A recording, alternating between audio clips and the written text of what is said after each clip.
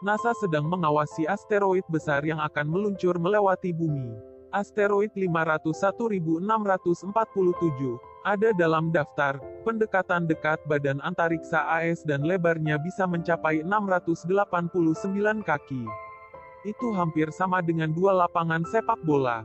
Diperkirakan datang dalam jarak 1,9 juta mil dari bumi. Meskipun tidak berisiko sama sekali, tetapi dalam hal ruang yang cukup dekat.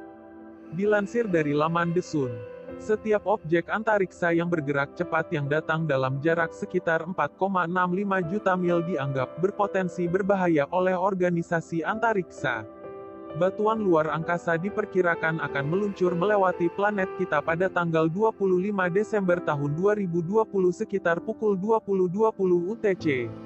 Menurut tabel pendekatan dekat NASA, asteroid yang jauh lebih kecil yang disebut 2020 XY juga akan terbang jauh lebih awal pada hari itu. Asteroid ini bisa mencapai lebar 144 kaki tetapi jaraknya harus lebih jauh. Diperkirakan akan melesat pada jarak 3,6 juta mil dari bumi asteroid 501647 atau 2014 SD224 yang lebih besar dan lebih dekat bergerak dengan kecepatan sekitar 22.000 mil per jam. NASA telah memberi label pada kedua asteroid sebagai objek dekat bumi atau NEO.